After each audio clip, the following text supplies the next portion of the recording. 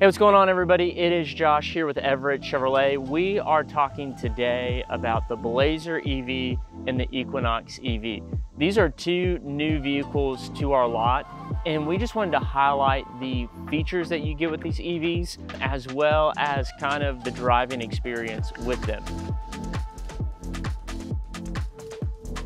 I just want to first state that Chevy's version of the EV is not like Tesla's at all when you step into this vehicle, you're gonna feel like you're stepping into your regular internal combustion engine vehicle. So there's gonna be a gear shifter, there's gonna be an accelerator pedal, there's gonna be a brake pedal. All those things also are in Teslas, but you're gonna have your environment controls, you're gonna have an 11 inch display screen across both of these.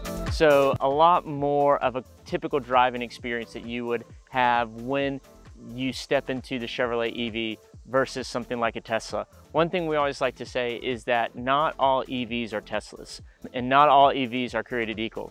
And so we want you to come out and buy a better EV. And that's one of the reasons why we're doing this video today is to just kind of speak to that experience of driving an EV. Now, I have actually taken both of these vehicles home with me on test drives and considered purchasing them for myself. I just say that to say, like, these are something that your regular commuter, I drive 10 to 15 miles every day to work and then drive home. So these are vehicles for your everyday commuter, you know, even if you drive, I don't know, 20 miles a day, 30 miles a day, 40 miles a day, you can still do that and charge your vehicle at home at night. So that is, that is what these cars are kind of made for. These are not made for people that are probably driving, you know, 150, 200 miles every day.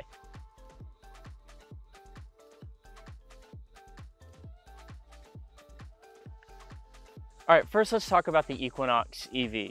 So you're gonna have a regular key fob like you would for a vehicle that you have. You can lock it, you can remote start it, you can unlock it, you can open up the tailgate. So I did wanna talk about the handles. So this is a pretty cool feature when you lock and unlock it. Your handles are gonna come out or they're gonna go in. That's really awesome.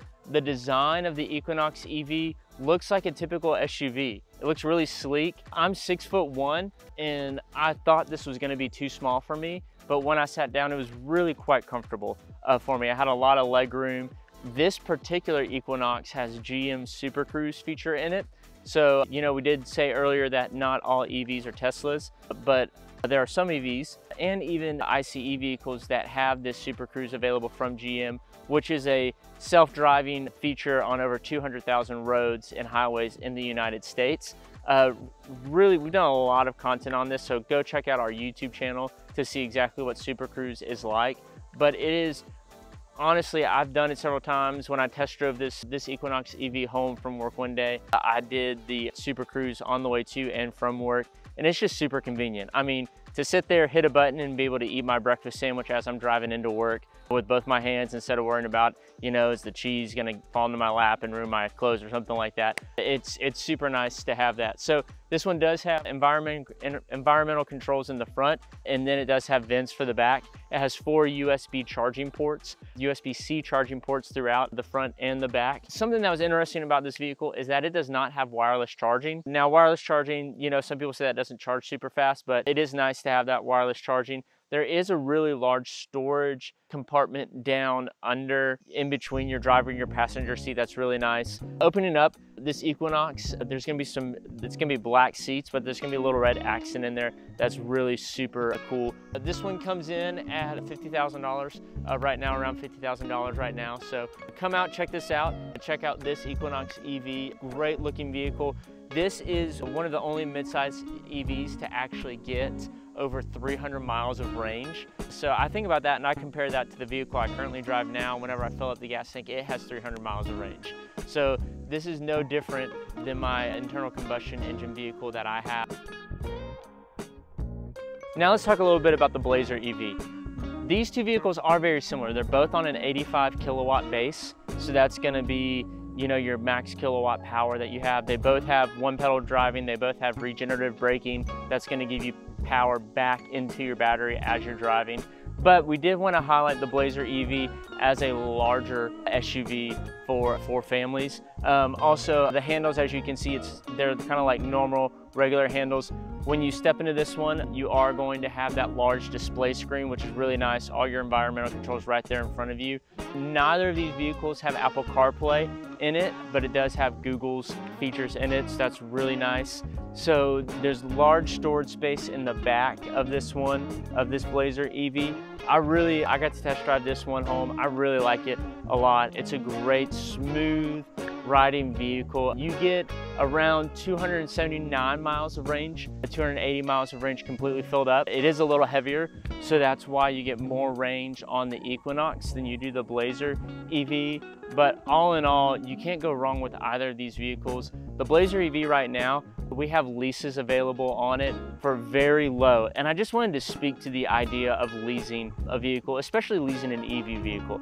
A lot of people are really nervous about, oh, is, is the battery gonna blow up on me? Am I not gonna like it? Am I gonna get invested in it? The great thing about having the opportunity to lease one of these vehicles is that you can drive it for two, three years, whatever kind of you decide on the terms of the lease, and see if you do like it. Um, and I know it might feel like, oh, well, you know, I'm not getting any equity in my vehicle or anything like that, but you can talk with our sales manager, with our sales consultants and our, our sales managers about the opportunity at the end of your lease to buy out the vehicle. And so it might not actually be lost equity or anything like that, but it does give you an opportunity to try out the electric vehicle, to try out what it would be like that experience for you.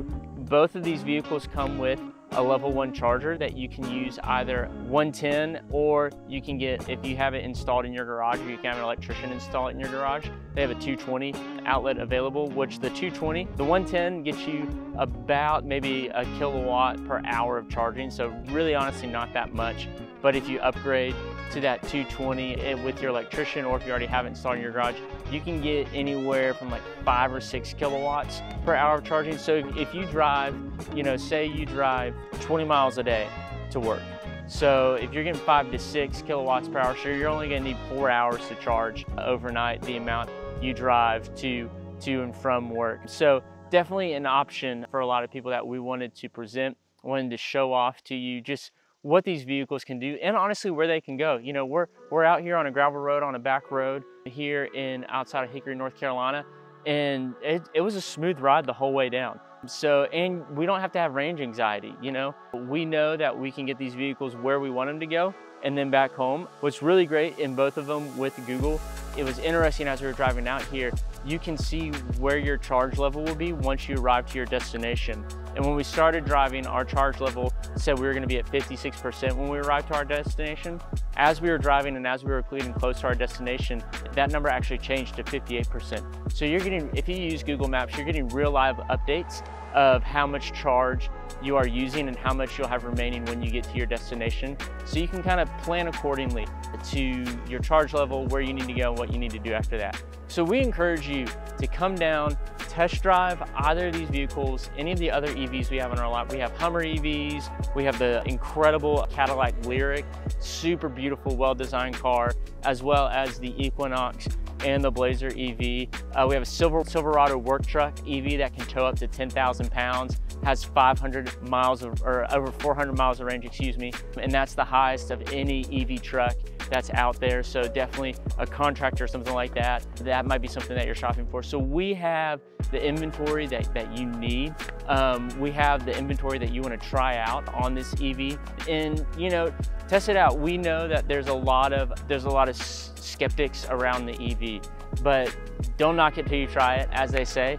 And so come on out, test drive an EV, talk to our sales consultants about your options. Uh, buying one might not be an option for you, but leasing one at a lower price, get your car payment down, something like that, save on gas, fuel for a couple years, might be a really great option for you. So come down and see us today at Everett Chevrolet. We'll see you soon.